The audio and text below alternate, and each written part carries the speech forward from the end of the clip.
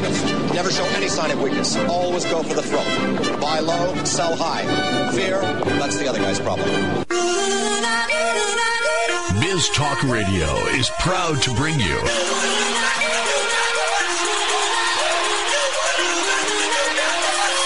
Investor's Edge with Gary Kaltbaum. Straight talk about you and your money. You can reach Gary now at 877-747-EDGE. That's 877-747-3343. Here is your host, Gary Kaltbaum. And welcome once again to Investor's Edge. I'm Gary Kaltbaum, your host. Hey, thanks for being with us today. Glad you are here, ladies and gentlemen always happy that you are listening.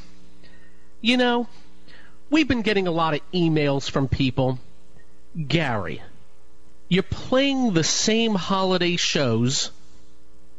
You're playing the same shows when you happen to be maybe traveling that you've been playing for a couple of years. Can you do us some justice and put together some other shows? When you are traveling or when it's a holiday? Well, I've listened to you, I have heard you, and today is one of those shows. We have put together topics that we think are quite topical at this moment in time. We're not putting a date on today's show. But you'll get the gist. Today on the show, we're going to be covering central banks and why they are so much more important now than they have been in the past. Then we'll be talking bubbles and what they look like, how they feel, why they occur, and how they end. We're going to talk about earnings and the importance of gaps when companies report earnings. Gaps both up and down. Other things we'll be discussing today in the markets sectors, cousin stocks. What's a cousin stock? We'll explain. And a little bit on relative strength. Because, ladies and gentlemen, we think there are just too many definitions out there on what relative strength is in the markets. We will strip away all the myths and explain. So again, we thank you for being here on this day. It's either a holiday or we are out. And where do I want to start today? And it's something we've talked about a lot. We never really used to have to talk about it. Many years ago, central banks, their job was simplistic meet every month and not do much. Seriously. Many years ago, there were no central bank people talking in between meetings. It was frowned upon. And then came the mid 90s. For some reason, they decided they needed to be famous they needed to be out there. All well and good, but something else happened. See, back in the late 90s, there was a gentleman by the name of Alan Greenspan who believed in easy money policies, and at that time, all it meant was lowering interest rates and keeping them down, but not to 0%. I still remember when being easy was when they would take the Fed funds rate down from 4% to three and a quarter over a six month period.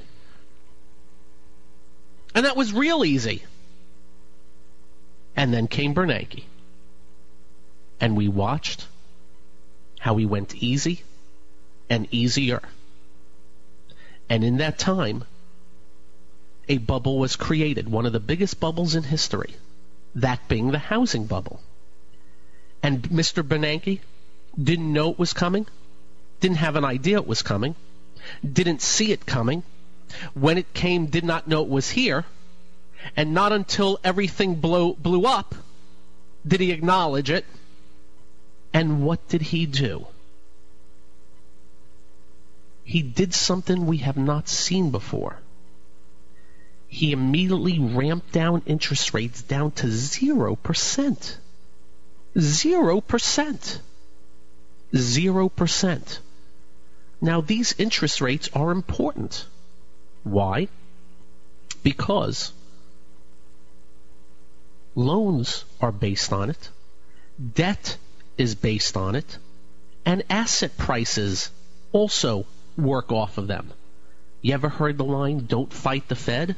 When the Fed is easing, markets usually do better, but what happens when the Fed goes down to 0%? Well, you saw what happened. Markets bottomed and started rallying. But something else then happened, something we never even dreamed of. I certainly never dreamed of it. Ben Bernanke decided, and they would not use the terminology, but we did, and that is they started printing money. Now, do they actually print money? No, they press buttons and create money. And they took that money that was created out of thin air and bought up our corp, uh, excuse me, our government bonds. And the goal in mind was to get interest rates as far down as possible, not only on the short end, but on the long end. The thought process being if interest rates come down, the cost of capital to do everything and be everything come down, and that would spur on economic growth. But there's repercussions. A, savers get zero. Who gets the difference? The banks. Fair? Well, we'll let you decide if that's fair. The other part of the equation is it kind of screws up the markets. You know, markets are supposed to be between buyers and sellers based on fear and greed, desperation or inspiration, strength versus weakness. And they interfered. No longer was there, was there a two way trade. They bought up everything in sight. And thus interest rates came way down. And fast forward into the 2014 to where the Fed had printed four and a half trillion dollars. Four and a half trillion. Not many can put their hands around that type of number. And that's on top of 0% interest rates. And markets reacted. And reacted well. But along the way, every time the Fed stopped printing money, the markets corrected. And every time the markets corrected, the Fed did something new. You remember QE1, QE2, Operation Twist. I'm still not sure what that was. QE3, the mother of all printing of money, $85 billion a month. But what happened was they started to lose a lot of credibility and recognized we got to change a little bit. So they came off their printing of money, slowly but surely. And markets started to hang in there until markets started to get in trouble. And what did they do? They found some friends Japan, Europe, China. And in a coordinated effort in late 2014, Japan announced the trillion and change, Europe announced the trillion and change, and then China, the supposed miracle of Asia, realized that they were heading south. They started easing big time. And guess what happened to their markets? They soared. They copied Ben Bernanke. Since markets soared here, they now soar over there to the point where it doesn't matter what country it is. The communist paradise of Venezuela in early 2015 saw their stock market soaring even though inflation is 60, 70% there. Thus the big, humongous central bank intervention. But the issue is, what has it created?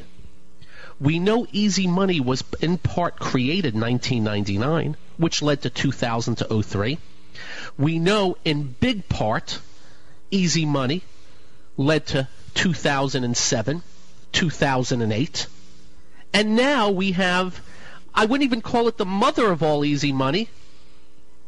I would call it, I don't even, the universe of all easy money. Things we couldn't fathom. Around the globe, 0% interest rates, $5 trillion of negative interest rates, and $14 trillion of printed money, and still going strong. So, what are the repercussions? What are the ultimate repercussions? Are there repercussions? We'll head right into that up next. Thank you for being here on this special day. I'm Gary. This is the one and only Investor's Edge.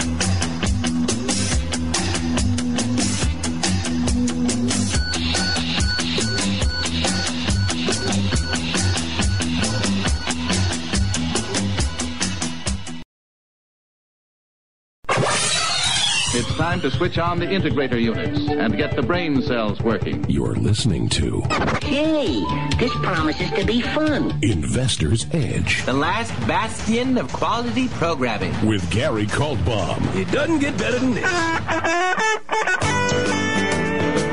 And welcome once again to Investor's Edge. On this special show today, it's either a holiday or we're caught up somewhere traveling in the outer parts of Mongolia or something like that. And as always, we are pleased to be with you. So we started off talking central banks. And just realize when we say $14 trillion of money printed, that's going into the asset prices. It bubbles things up. The worry is what are the ultimate repercussions? Because the real definitions of bubbles or the causes of bubbles are easy monetary policy combined with asset prices going up and then at a certain point in time greed and the desperation of not being in overtakes things. Back in 99, it was in the internet and tech space and some big, big cap things. I still remember Walmart, GE, and a few others had 60 times earnings, even though they were growing at 10, 15% at the time. And we all know what happened. And then we all know what happened in 07, where in housing, true story, people would actually line up in a tent two days in advance for a supposed condo that was going to be built in Miami to plunk down a deposit and then put it up for sale as soon as they signed the document and within a week would sell it and make 25 or 50 grand. It worked for a while. But of course, once price and valuation get too stretched, eventually things give, things cave. And we all know ha- what happened at that point.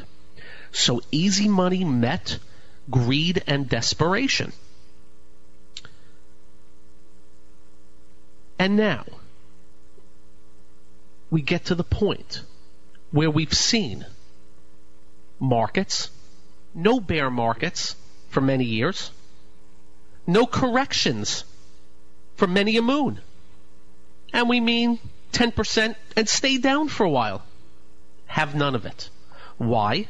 Because every correction is met by central bank talk, central bank teasing, or central bank intervention. Which calls into question are we in bubbles? Well, we've already known from the past that valuation will eventually matter. The question is in the biotech space, why didn't it matter when biotechs for two to three years come public and soar to valuations anywhere from 200 million to 8 billion dollars and all the companies have one thing in common. They didn't even have sales. Some of the companies were just development stage not even in trials. And of course all brought to you by the wonderful human beings at the at the investment banks that's bubbles when you have a bond market in corporate land where you have bonds that used to yield 9% now yielding 3.5, that's bubbles. When you have monstrously debt laden countries that have negative interest rates, that's bubbles. caused by interference. Just remember, Economics 101 in Bondland states the more debt you have, the more your debt is out of control, the more you should be paying your lenders. Are there lenders right now? If central banks are buying up all the stuff, the lenders, the people that want to buy the bonds get crowded out. But when they do buy, they're getting yields much lower than the norm, prices much higher than the norm, which equates back to stock markets. And not everything has to be in bubbles at once. In 2000, housing stocks were at one times earnings. They actually bottomed when the market topped. So all we do is sit back and we just think about what's the norm? Is it normal to have a biotech company with an $8 billion market cap that has no sales? Of course not. When in the past have we seen something like this and what happened? Well, in 1999, you had a bunch of dot com companies that had no sales with those types of market caps. And what was the outcome? Oh, 80% drop, 90% drop, bought out for pennies on the dollar, or just flat out gone to zero. That's the precedent that we always tend to look at. Thus, we always worry about what we are seeing. We've always thought that markets were between buyers and sellers at specific prices that they wanted to do business at. Not anymore. Japan has admitted they have used their own printed money. By the way, Japan very debt laden. They use their own printed money to buy up stocks. They've admitted it. Our central banks haven't and they say they don't want to be audited. Hum. We already know they've interfered with the income markets, the bond markets, because they had to admit it. They were out front and center. So the worry is we're in the midst of another bubble. Now, as we talk right now, we're not sure what date you're listening to, and it may be a few months down the road from when we are talking, and things may have already occurred. We'll see. So use this show as a broader thought process on central banks and bubbles. And let's keep fingers crossed that we're not. We aren't. We haven't been in a 99 type atmosphere. Now, let me be clear bubbles are great as they're going up. You want to harness them. We do not use the term bubble badly while things are working. Oh, but we use it badly when things top, when the music stops. So we will always be watching closely because the biggest money is lost when everybody is at their most greedy, at the most ridiculous price structures out there, when everybody believes nothing can go wrong, that this is going to go on forever. Warren Buffett once said, Beware of the naked man when he comes out of the ocean, when the surf drops and the tides roll in. Let's hope there's no ma- naked men out there, ladies and gentlemen. Sorry to give you that picture. Up next, we'll move a little forward. Want to talk about the importance of earnings, gaps, relative strength, and other stuff. Thanks for being here this today. Thank you. I'm Gary. This is the one and only Investor's Edge.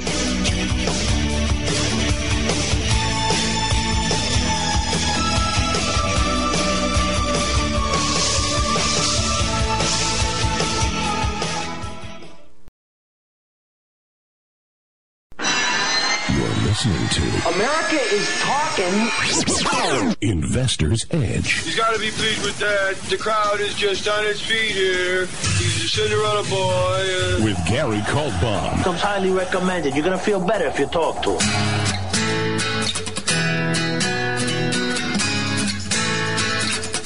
And welcome once again to Investor's Edge. Today, we are either climbing Mount Everest or it's a holiday. That's today's show. Every now and then we have special show, educational shows. That is one of this is one of those days. Thanks for joining us today. So we've talked about central banks. We've talked about bubbles, the potential for them, what they look like, how they feel. How do they end? We'll give you the typical. You never really know how they're going to end, but typically they end at their noisiest. Really tough to define the wor- word noisiest, but you'll get a feel when it happens. It's when everyone's talking about it. Everyone's speaking about it. Front page or front cover of Newsweek and Time and all that type of stuff. That's when you typically will know. Get ready if it ever does occur. That's all. Just very, very noisy. Then, technically, how do they trade? They'll be very extended from their move. Everybody will think nothing will go wrong, and then all of a sudden you'll have this one big, gigantic down day from the highs on monstrous volume. That'll be the day where the balloon popped. But that doesn't necessarily be the day that it's over and done. Because typically what will happen is you'll get a rally back up to the highs. That's the rally that gets everybody saying, we're fine. We're good. No sweat. But then what happens? You get another big down day, and it's the oy vey moment. What does this mean? Can't be. And then you'll get another big rally up near the highs, and you'll get another, "Whew, told you so, we're fine. But those big swings are a sign that the sellers are now involved and are part of the equation. And it's at that point in time where you start getting what we call the slow, unnoticed drip. Then you'll break the first low, and then potential for waterfall type action. Action that's uncontrollable, never stops. You think it has to come back, and yet it doesn't. And then you're down 30, and you're thinking, eh, it had a big move, it's just got to be a correction. Then 40, and then 50, and then you won't know what hit you. And in the case of whatever you're in that has no sales, once they're down 80, you basically say, eh, I don't care if it goes to zero now. That's the cycle. So please pay attention. Moving on. We talk about it all the time. Earnings. What does a company make during a quarter? What's the net income? Unfortunately, net income is pretty much a naked number. You can't play with it. Earnings per share, you can play with it.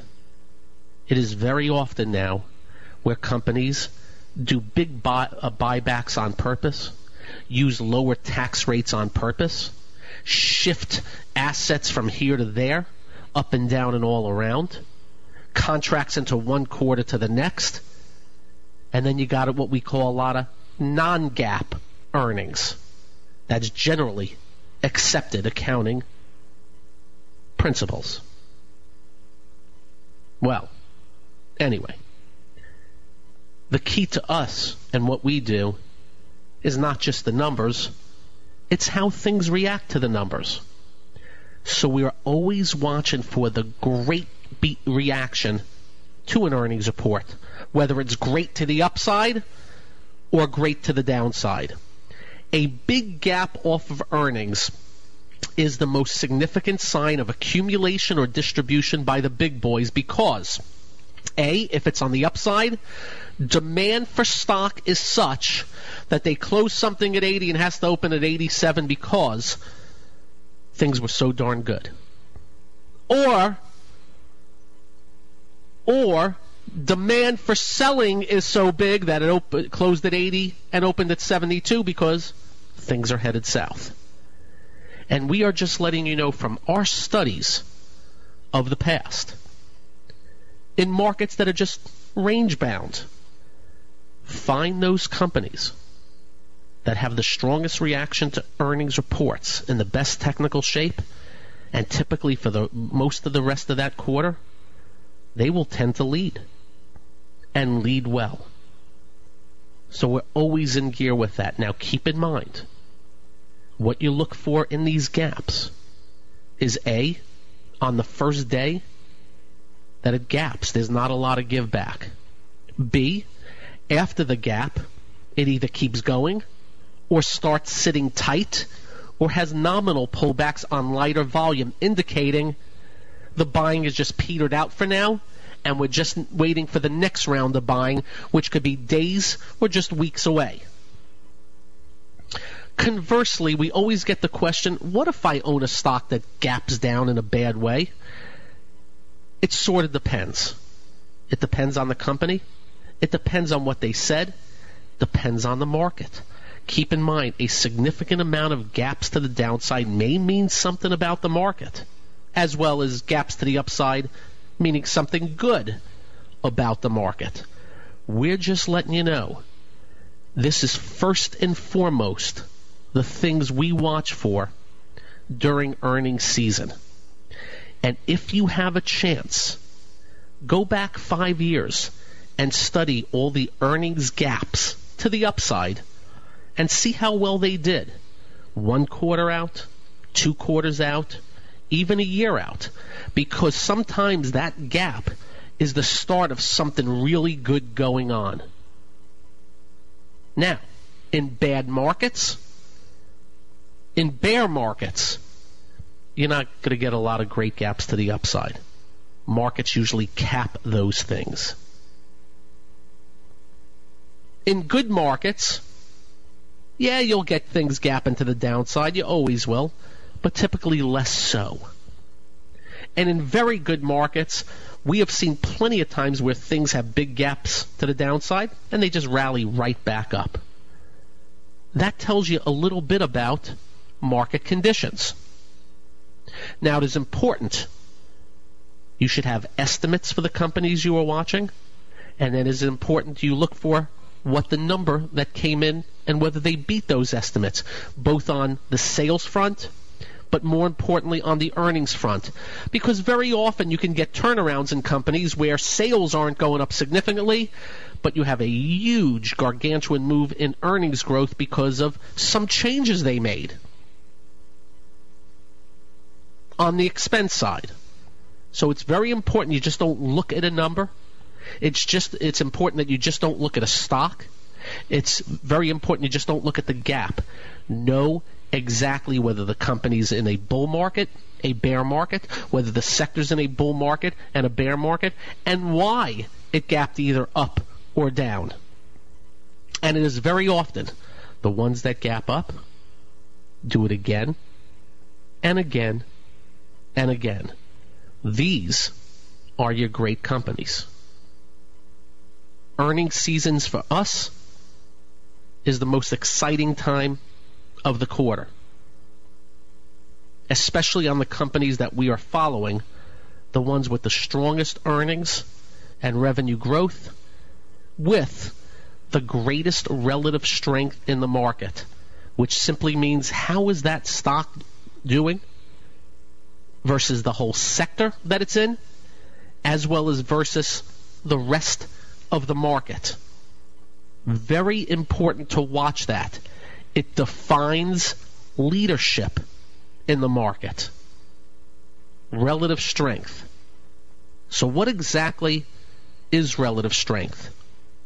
How do you measure relative strength? And why is it so important to watch other stocks in the sector of this company and stock that you are following? Just some other tricks of the trade we follow. So we'll wind it up next on relative strength, on cousin stocks. We thank you for being here. I'm Gary. This is the one and only Investor's Edge.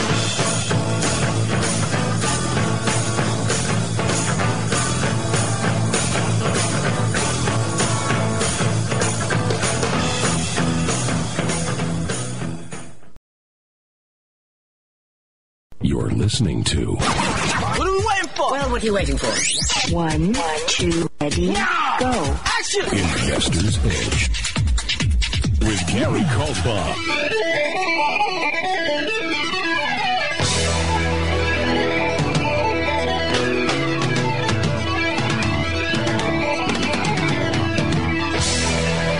Da-da, da-da.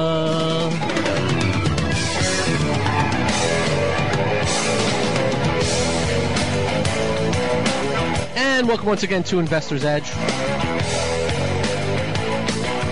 Thanks for being with us today. Again, we're either climbing Mount Everest, Mount Kilimanjaro, swimming with sharks off of the uh, northeast coast of Australia, or it's a holiday. So we have a special educational show. We have heard you because we were using the same ones going back a few too many years. So this is the new and improved version of We're Not Here Today show. So let's move on. We're talking markets, we're talking stocks, and we're talking the word relative strength. And that two words gets bandied about very much on Wall Street. To us, it's pretty simple. Is that stock leading or is it lagging? When the market is up, is it up more? When the market is down, is it down less? Simple as that. We're looking for the strongest stocks in the market that if the market's going up 10, it's going up 20. If the market's going down 10, it's flat. Now, you're never going to get perfection, but the whole idea is to recognize where that big leadership is. But how do you measure it? What is the best way to measure relative strength? Well, really, price is the best way. You can actually look at it and see. But we have found that the people at William O'Neill and Company have the best way. They use a relative strength line on the charts they use. Used to be on their daily graph charts. It's now called MarketSmith. And their charts show you number one, a little line of the S&P and a little line of the stock, relative strength. And we just love when we see a stock where the market's doing nothing. The stock has its relative strength line into new high ground while the market's sitting. That's relative strength.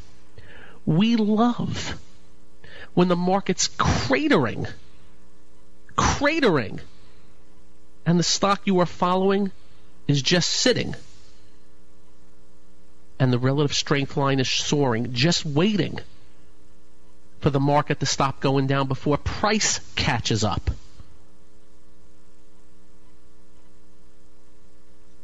This is what we are looking for on a daily basis. And we use that relative strength line, and it also comes with a number from 1 to 99 on those charts. It is a great weapon in the arsenal. Can tell you what your stock is doing, and you're always looking. The, my favorite way to know when to not buy something is something called a relative strength non-confirmation. And what that simply means is the market is ridiculously strong, and your stock finally starts to move out of range but it hasn't kept up with the market at all. It's just moving because it's it's being carried on a leash by the market. And when the market decides to turn and come down, the lack of strength in that stock takes it down more easily than something that busted out three weeks in advance. So very important to watch, as well as the cousin stocks.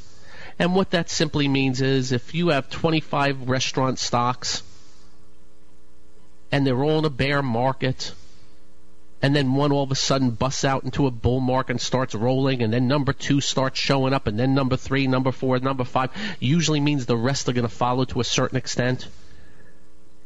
And you start paying attention to every stock in the group. Now there are, there are industries, sectors that are notorious where everything moves hand in hand. The oils, it's commodity. Price goes up, just about everything goes up. So it's a little bit different than let's say the restaurants. I've seen plenty of times where you've had strong ones with weak ones at the same time. And that's why you use the measuring stick of relative strength when looking at cousin stocks. And let me say, when a group is starting to show up in relative strength, you always want to pay attention to the first name or the second name, maybe the third name that busts out. You typically do not want to go for that last one. The true strength will show up first. The big leaders will show up first. There's a simple way they show up. They'll be breaking above resistance levels and potentially showing up on the yearly new high list. So we watch relative strength as well as cousin stocks together. We've heard some analysts say, buy the worst stock in a group when it starts moving. We don't believe in that. We're not saying the worst stock won't move. We want the best. When you're picking sides on a basketball team, you're picking the worst or you're picking the best? When you're looking for the great strength in the market, are you looking for the best or are you looking to the ones pulling up on the stretch? So very important. You put these two into your arsenal also. You can check out uh, investors.com, marketsmith.com, and check out those charts. We do not get paid by them. We're just letting you know what we use. And you can look up the definitions of their relative strength and what they look like if you go to their site. Well, we're almost down from Mount Kilimanjaro. Hope we have helped you today. We're going to do more shows like this in an effort to educate. We thank you for being here. Until next time, you have a great evening, drive carefully, and when you get home, do like we do. Simple. Make sure you hug your children. Night, night, all.